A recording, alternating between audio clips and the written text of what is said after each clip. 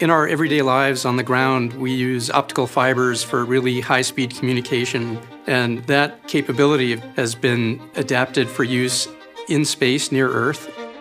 DSOC stands for Deep Space Optical Communications, which is using lasers to communicate at high rate.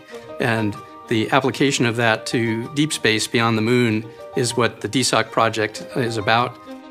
Primary objective is to give future NASA missions the tools for returning data at much higher rates.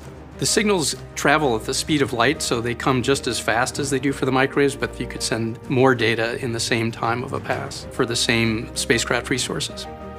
The notion of being able to communicate, uh, have video to astronauts on Mars is actually part of the vision that NASA has for optical communications.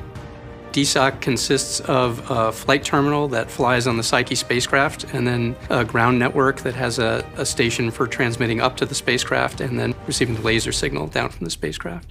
Here we have to send a laser beam from Earth that the spacecraft has to receive, use as a pointing reference, and then initiate the communication link. So it's a very flight and ground joined at the hip kind of telecommunication system.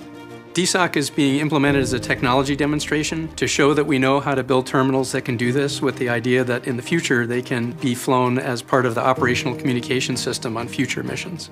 And we designed the terminal to operate out to about Mars' farthest distance. And Psyche on its cruise actually does a Mars flyby, so it's an excellent vehicle for the demonstration of deep space optical communication.